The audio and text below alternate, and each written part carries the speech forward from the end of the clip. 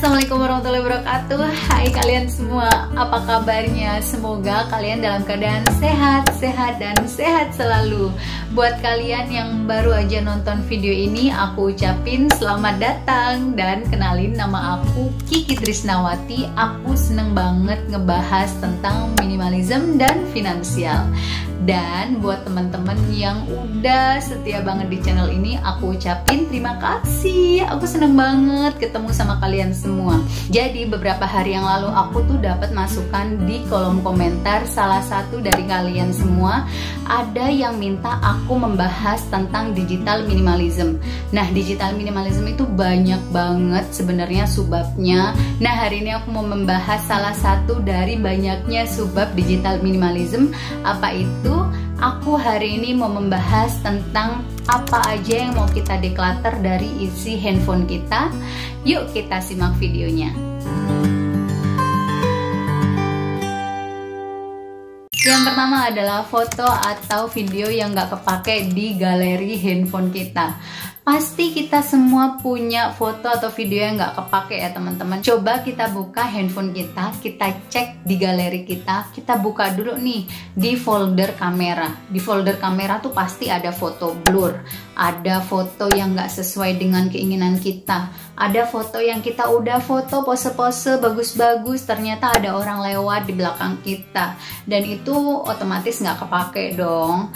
Hmm itu kita delete aja dari sekarang.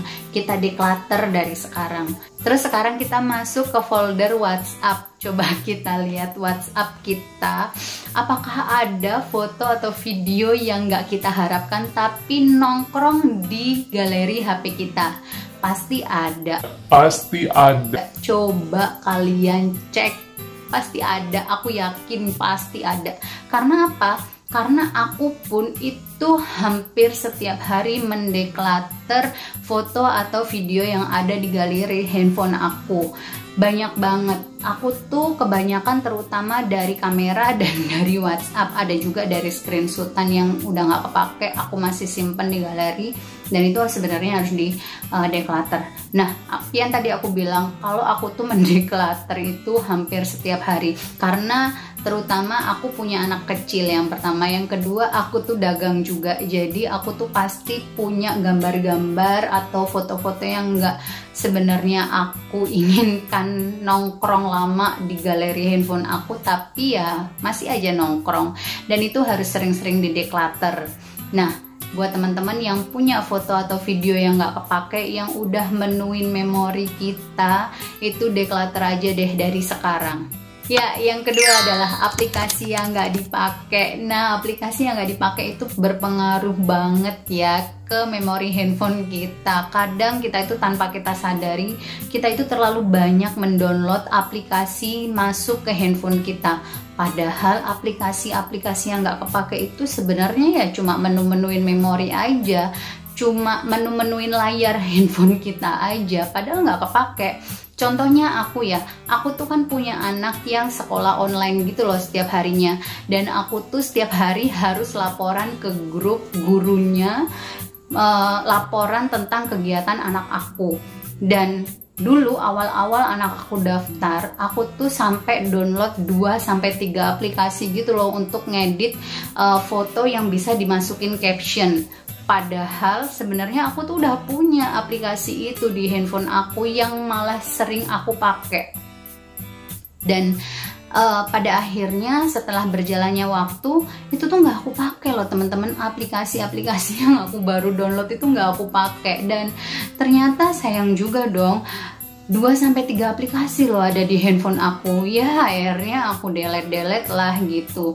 Terus juga teman-teman lihat ada aplikasi-aplikasi yang mungkin dulu kalian pakai tapi sekarang-sekarang ini udah nggak pernah dipakai mungkin atau lebih jarang dipakai gitu ya nah itu waktunya untuk di declutter ya karena biar memori kita itu longgar biar memori kita itu bisa nafas dan yang terpenting biar handphone kita itu awet karena ya kayak orang aja kalau kebanyakan makan itu kan nggak sehat.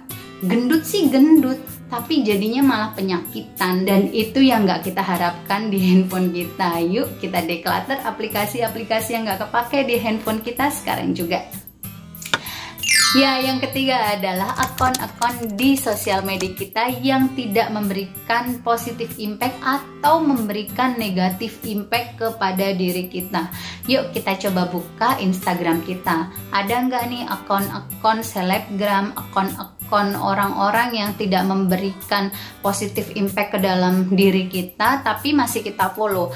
Malah banyak justru akun-akun yang memberikan negatif impact ke kita. Contohnya akun akun yang membuat kita itu selalu negatif thinking, akun-akun yang membuat kita itu sering belanja, akun-akun yang membuat kita itu jadi tambah takut gitu ya menjalani hidup ini.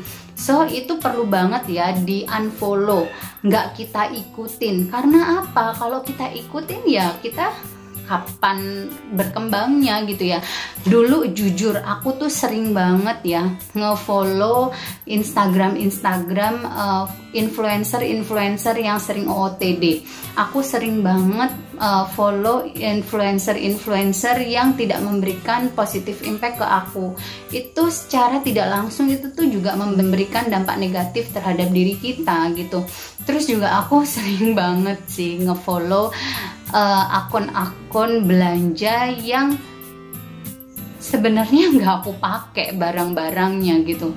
Tapi karena setiap hari kita buka Instagram setiap hari kita buka sosial media yang itu tuh membuat uh, apa ya membuat kita kepengen membeli membuat kita itu selalu curiga otomatis kan jadi berpengaruh juga di hidup kita. So menurut aku akun-akun yang tidak berguna itu segera kita unfollow deh gitu biar hidup kita juga lebih tenang. Ya, yang keempat adalah aplikasi marketplace yang bikin kita belanja terus. Ini penyakitnya kaum Hawa ya, atau juga kaum Adam juga ada yang menjalani ini. Ngaku deh, aku aja deh yang aku pasti aku juga uh, punya aplikasi-aplikasi marketplace yang nongkrong di handphone kita yang kadang kita itu kalau lagi nggak ngapa-ngapain lagi santai. Terus kita ngebuka tuh aplikasi marketplace. Lihat lihat lihat lihat scroll scroll scroll. Masukin keranjang check out. Itu kan jadi boros ya. Nah padahal itu apa ya bikin kita itu jadi belanja nggak sesuai kebutuhan kita, hanya belanja sesuai keinginan kita. Padahal beberapa kali aku udah bilang di video-video aku bahwa kita itu harus belanja sesuai dengan kebutuhan kita, bukan keinginan kita. Sedangkan aplikasi marketplace di handphone kita itu berpotensi untuk membuat kita belanja terus, berpotensi untuk kita membesarkan keinginan kita daripada kebutuhan kita. Ya yang kelima adalah grup WhatsApp yang bikin kita negatif. Pasti ada, pasti ada. Ngaku deh, ngaku. Aku pun banyak. banyak banget ya grup WA tuh yang uh, ngirimnya tuh info-info hoax gitu loh info-info yang nggak benar info-info yang bikin kita negatif info-info yang belum tentu kebenarannya tapi udah disebarkan. Apalagi yang bunyinya sebarkan ke grup WA yang ada di grup kamu. Biar uh, kita selamat dunia akhirat. Menurut aku gimana ya? Kayaknya kita harus keluar deh ya dari grup itu. Walaupun aku juga agak susah keluar dari grup-grup yang ada di handphone aku. Cuma uh, gini deh. Best dealnya nih buat kalian yang emang nggak bisa keluar dari grup WA itu kalian silent aja grup itu biar kita itu nggak terus ngebaca uh, informasi-informasi yang nggak valid. Biar kita itu nggak ngebaca uh, sesuatu yang nggak harusnya kita baca terus nanti masuk ke alam bawah sadar kita terus jadi habit kita yang nggak baik gitu. Jadi menurut aku untuk uh, grup WA grup WA yang memang memberikan informasi yang kurang baik memberikan informasi yang belum tentu benar memberikan informasi-informasi yang nggak kita harapkan itu sebenarnya harusnya kita keluar aja dari grup itu atau ya kita silent aja kalau memang belum bisa gitu. Nah itu tadi teman-teman beberapa yang harus kita declutter dari isi handphone kita banyak banget ya tapi ya itu realita. Buat teman-teman di sini menurut kalian apa nih yang harus kita declutter dari isi handphone kita biar kita hidupnya lebih mindful, lebih uh, tenang lebih fokus itu apa aja? Yuk kita sharing di kolom komentar dan buat kalian yang minta aku bikin video apa, yang kalian minta aku bahas apa tentang minimalism dan finansial, yuk tulis aja di kolom komentar. Sebisa aku nanti aku bahas dan aku bikinin videonya kayak video hari ini. Nah, Jangan lupa like serta subscribe bagi yang belum subscribe dan buat kalian yang merasa video ini bermanfaat silahkan share sebanyak-banyaknya biar video ini semakin bermanfaat untuk banyak orang.